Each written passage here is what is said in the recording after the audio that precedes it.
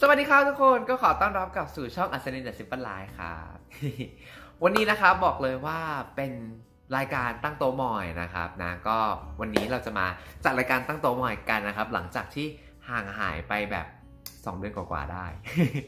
หลังจาก EP 1 EP 2 ที่ออกมานี่คือหายไปหายเงียบกริบไปเลยนะฮะ ก็วันนี้กลับมาแล้วนะครับนะก็ตั้งโต๊ะมอยเนี่ยก็จะเป็นรายการที่เราจะมาพูดถึงดีไซเนอร์แบรนด์ต่างๆ แล้วก็พวก fashion house แบรนด์ต่างๆ อะไรอย่างเงี้ยนะครับ ที่เราจะพูดถึงในรายการนี้กันนะฮะก็เดี๋ยวจะมาเล่า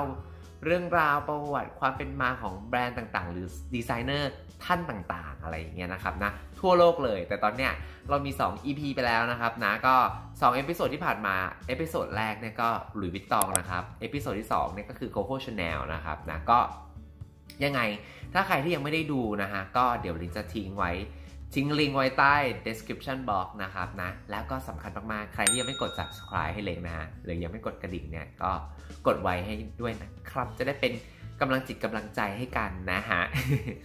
ก็ยังไงเดี๋ยววันนี้นะครับ เราก็จะมาพูดเกี่ยวกับแบรนด์ Christian Dior กันนะครับ เพราะว่าจริงๆแล้วเนี่ย เล็งก็ได้ เปิดให้ทุกคนเนี่ยนะฮะช่วยกันโหวตใน YouTube Community กันไปนะครับนะระหว่าง Christian Dior กับ Prada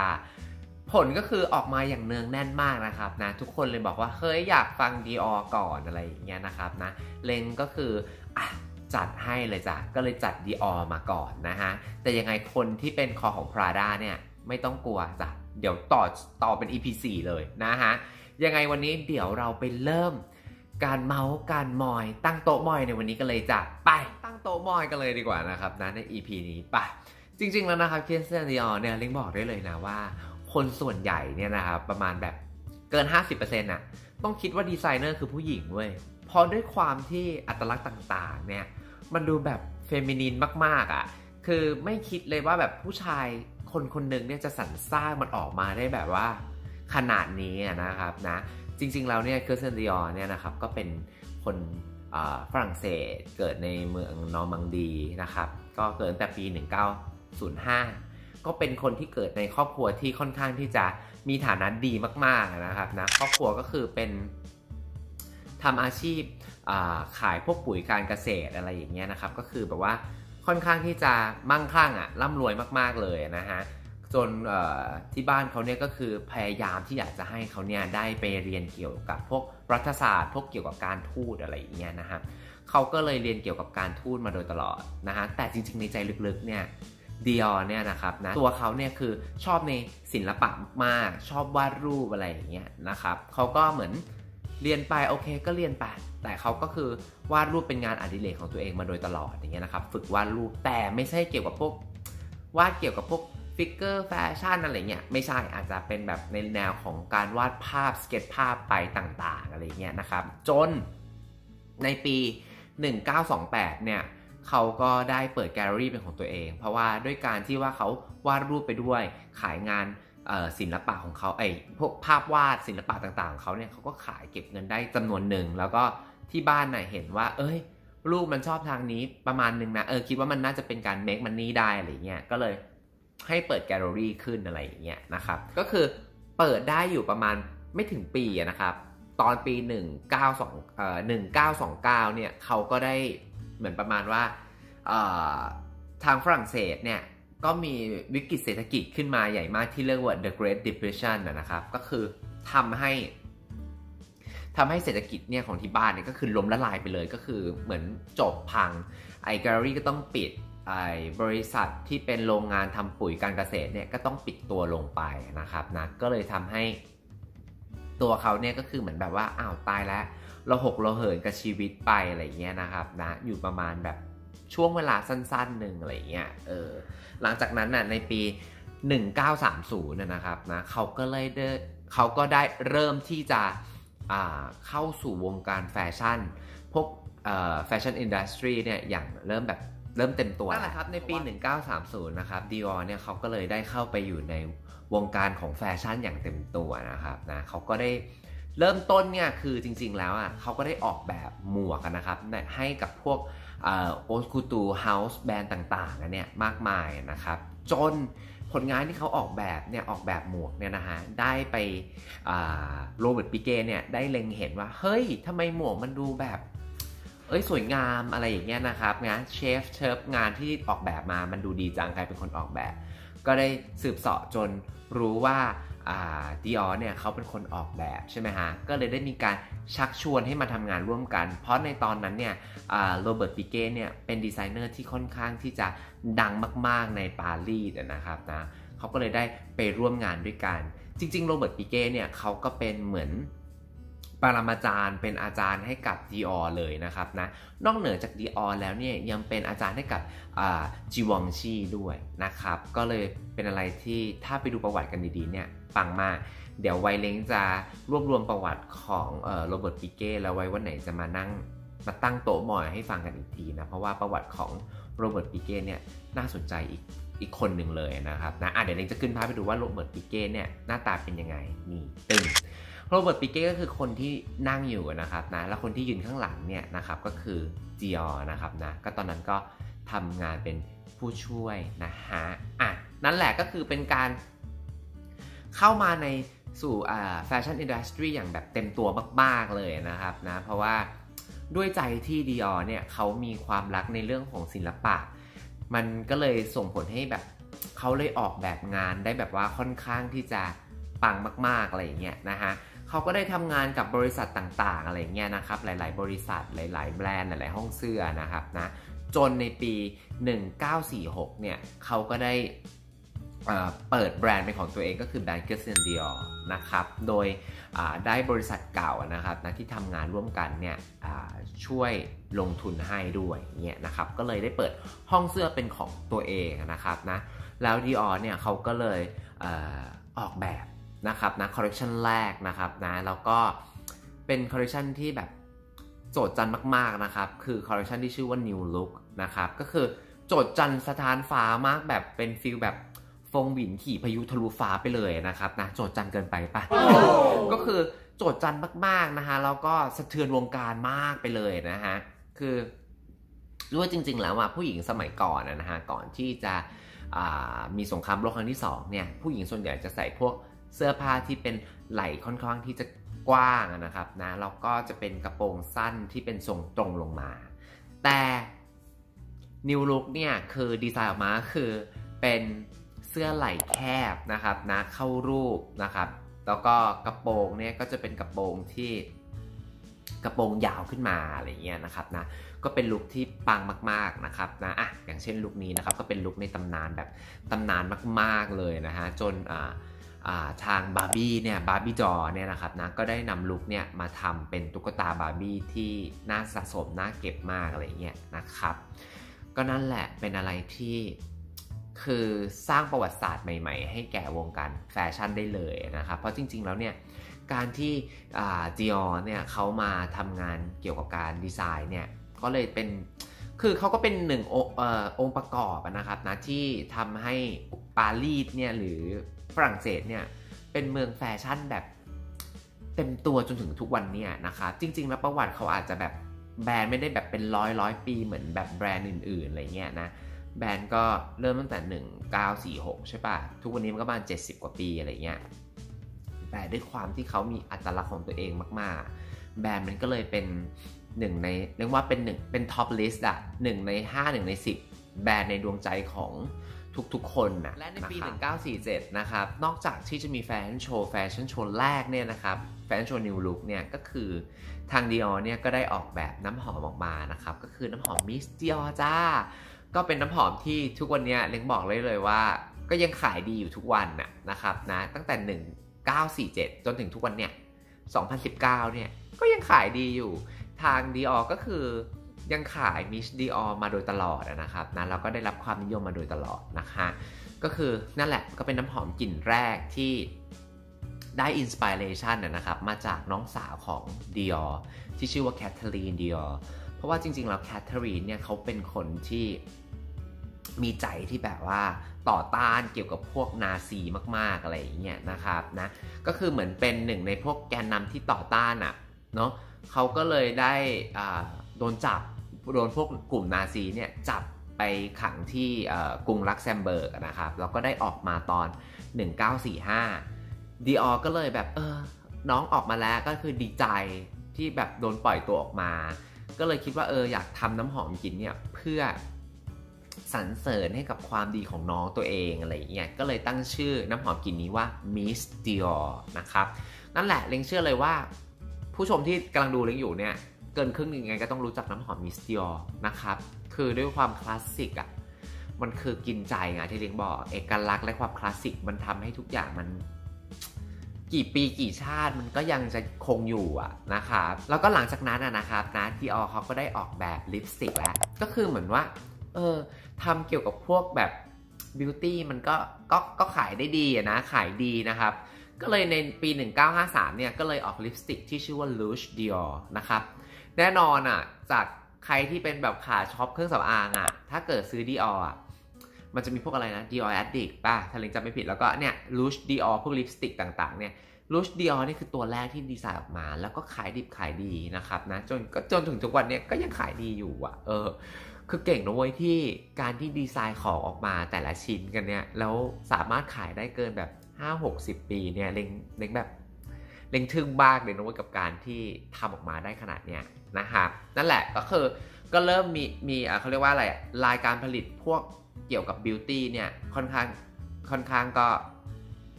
มากขึ้นหลายไอเทมขึ้นอะไรเงี้ยเพราะว่าอย่างแบรนด์ดีออเขาก็เหมือนพัฒนาสินค้ามากขึ้นเนาะเสื้อผ้ากระเป๋าเครื่องสำอางใช่ไหมเนี่ยแต่มันจะมีพวกนาฬิกามีอะไรจนเหมือนประมาณว่า total look ยูสามารถที่จะเป็น Dior ได้ทั้งตัวเลยอะไรเงี้ยนะครับ นั่นแหละ ต่อมานะครับ จริงๆแล้วเนี่ยชีวิตของ Dior เนี่ยก็ค่อนข้างที่จะโลดแล่นอยู่ในวงการแฟชั่นเนี่ยค่อนข้างที่จะน้อยมากๆ ด้วยความที่ตอนนั้นเนี่ยเล้งลืมพูดถึงไป ด้วยความที่ตอนนั้นเนี่ยตอนที่เขาไปทำงานกับ Robert Piguet อะเขาเริ่มอายุตอนประมาณแบบ33 แล้วอะซึ่งค่อนข้างที่จะเริ่มช้ามาก เพราะว่าจริง ๆ แล้วเนี่ยพวกดีไซเนอร์ต่างๆเนี่ยอะเล้งยกตัวอย่างละกันอย่าง Yves Saint Laurent ใช่ปะ อย่าง Yves Saint เนี่ยเขาเริ่มแต่อายุ 10 กว่า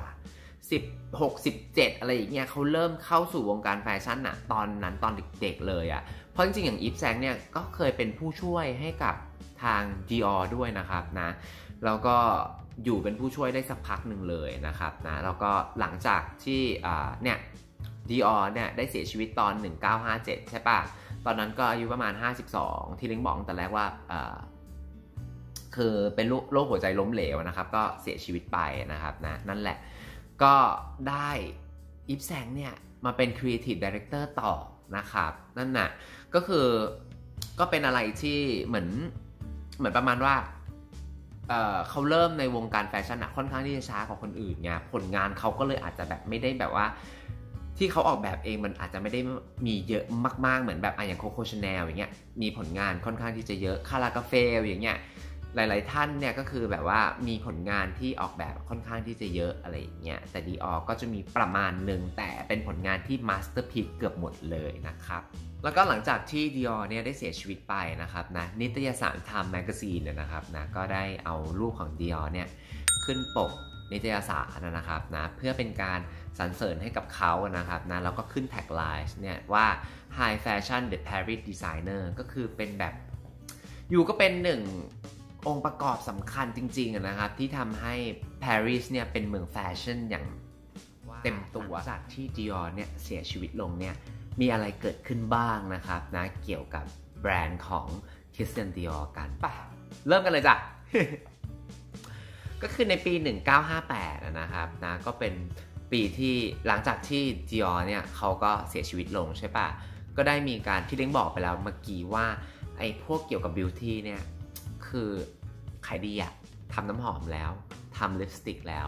ก็เลยทำแป้งคอมแพคออกมาด้วยนะครับนะซึ่งแป้งคอมแพคที่ทำออกมาก็คือขายดิบขายดีมากนะครับนะเพราะว่าคุณผู้หญิงในยุคเมื่อประมาณ 6-70 ปีที่แล้วอะ่ะคือยังไม่ค่อยได้มีการใช้แป้งที่เป็นคอมแพคนะเขาจะใช้เป็นเนื้อแป้งที่เป็นแป้งฝุ่นกันซะส่วนใหญ่นะครับนะก็เลยกลายเป็นแป้งคอมแพคออกมานะฮะก็เลยแบบว่า เออมันใช้ง่ายแล้วก็สวยงามอะไรอย่างเงี้ยนะครับนะ full coverage แล้วก็ในปี 1966 นะครับ Christian Dior เนี่ยทางแบรนด์เนี่ยก็ได้ออกแบบน้ำหอมรุ่นแรกนะครับ ก็คือที่เรียกว่า Sauvage นะครับ ก็ทุกวันนี้ก็มีการเปลี่ยนแปลงขวดเปลี่ยนแปลงรูปลักษณ์เปลี่ยนแปลงกลิ่นไปบ้างนะครับนะก็เป็นน้ำหอมของผู้ชายกลิ่นแรกที่ทางแบรนด์ Dior เนี่ยออกแบบให้ผู้ชายนะครับ แล้วก็ในปี 1967 เนี่ยก็ได้เริ่มทำรายการผลิตเสื้อผ้าของเด็กขึ้นมาแล้วนะครับนะก็ ก็มีแบบว่าเสื้อผ้าเด็กออกมาต่างๆนะครับนะส่วนใหญ่ก็จะเป็นเด็กผู้ผู้หญิงนะครับนะที่ทำออกมาขายก่อนนะฮะโอเค แล้วก็ถัดมาเลยนะครับนะก็ในปี 1975อะในปี 1975 เนี่ยเขาก็ได้เริ่มทำเกี่ยวกับอ่า นาฬิกาออกมาแล้วนะครับนะเรือนบอกเวลาเนี่ยนะฮะก็ได้ได้เปิดตัวขึ้นใน 1975 ของทาง Dior ที่ลิงบอกไว้เมื่อต้นคลิปเลยว่า แต่ละแบรนด์เนี่ยเขาพยายามที่จะทำให้ head to toe เลยนะครับนะหัวจรดเท้าเนี่ยก็คือยูต้องยูยูสามารถซื้อแบรนด์ฉันได้แบรนด์เดียวแล้วทั้งตัวเลยอะไรเงี้ยก็คือเป็นการเหมือนประมาณเขาเรียกว่าอะไรอะ่ะเขาเรียกว่าปิดช่องโหว่ ทุกอย่างที่ยูจะไปซื้อแบรนด์คนอื่น ฉันมีให้เธอหมดยูอยากได้อะไรฉันขายให้เธอหมด ฉันมีหมดเลยจากทุกอย่างอะไรอย่างเงี้ยนะครับ ก็เลยนั่นแหละ ก็เลยทำนาฬิกาออกมาขาย ทุกวันนี้ก็คือมีนาฬิกาที่สวยงามออกมาขายให้คุณผู้หญิงทุกคนที่ชอบในความแบบมุ้งมิ้ง ในความที่ feminine เนี่ยนาฬิกา Dior ไปเลยจ้ะ อย่าไปหาความสปอร์ตกับนาฬิกา Dior นะ เพราะว่าน้อยเรือนมากน้อยรุ่นมากที่เล้งจะเห็นเขาออกมาขายจะเป็นเรือนแบบ จุบุจิบีอย่างเงี้ย เป็นสายซาติน เดี๋ยวเราจะไปหารูปแล้วเดี๋ยวขึ้นให้ด้วย มันจะมีเรือนเนี่ยเป็นวงกลมๆ เป็นสายผ้าเป็นแบบซาติน ดูเป็นแบบโอ้ยปี1986นะครับแล้วก็ Dior เนี่ยเขาก็ได้ทำเกี่ยวกับ skincare มาแล้ว หลังตอนแรกๆเนี่ยก็คือทำแต่ beauty ใช่ปะมีแป้ง มี lip มีน้ำหอมอะไรอย่างเงี้ยนะครับเขาเนี่ย ก็เลยทำ skincare ออกมาแล้ว ก็คือคอลเลกชันแรกเนี่ยนะครับ line product line แรกอะที่ออกมาก็คือ Capture นะครับ คือ Capture เนี่ยเล้งก็เคยใช้เนี่ยจนเราเพิ่งมาหาข้อมูลเราเพิ่งมาศึกษาอย่างจริงจังเนี่ยจนเราก็เพิ่งรู้ว่า อ้าว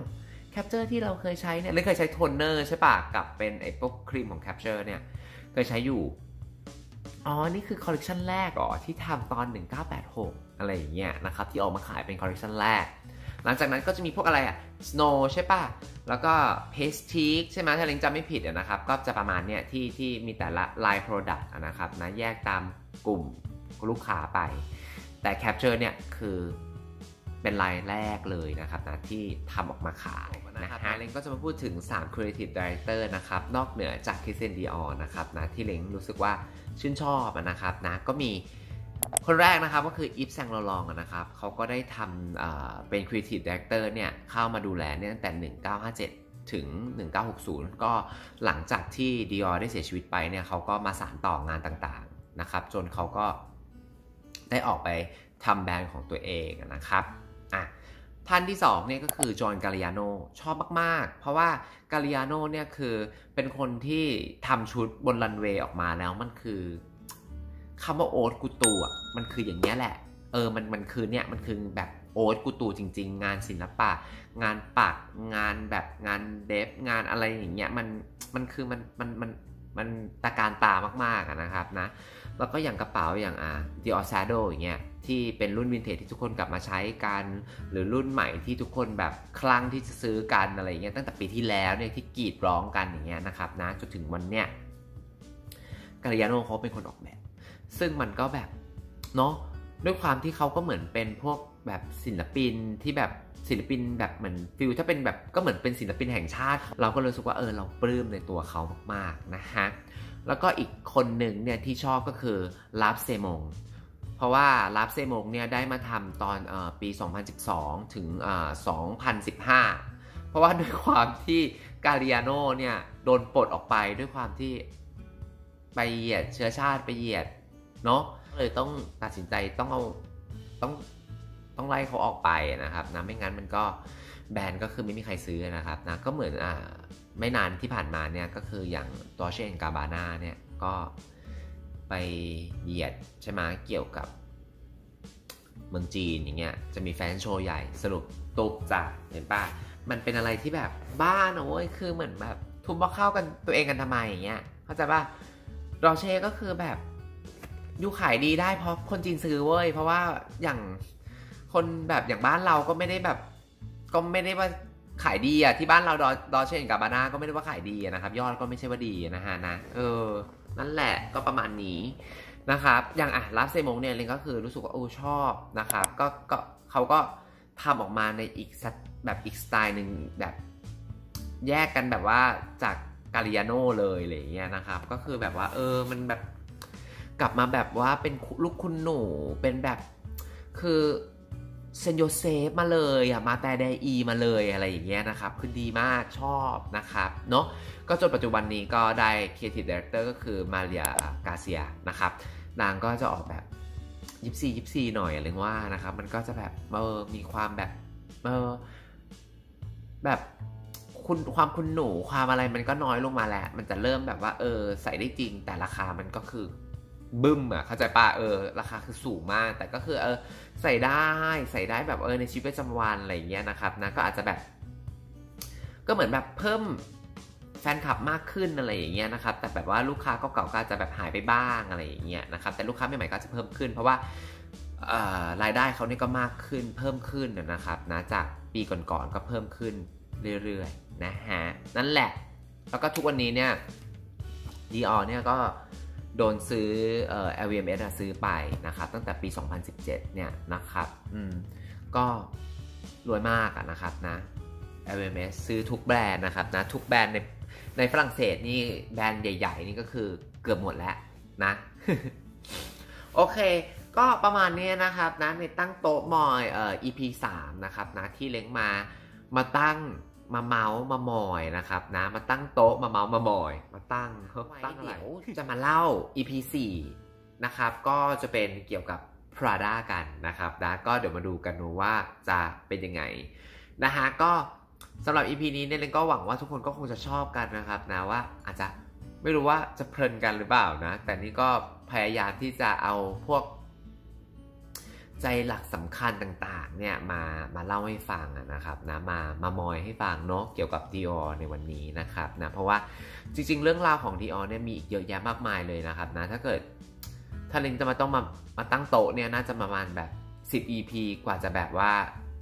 ได้ในองค์ประกอบกองใหญ่ ๆ จนครบนะครับนะวันนี้เลนก็มาพูดในองค์ประกอบกว้างๆนะครับนะก็ไม่ได้ว่าลงดีเทลเยอะมากเท่าไหร่นะครับนะก็ยังไงหวังว่าทุกคนจะชอบกันนะครับนะแล้วก็ ฝากติดตามกันไว้ด้วยนะครับนะเดี๋ยวไว้จะออกมาทำคลิปมานั่งมานั่งเล่าเรื่องต่างๆ มา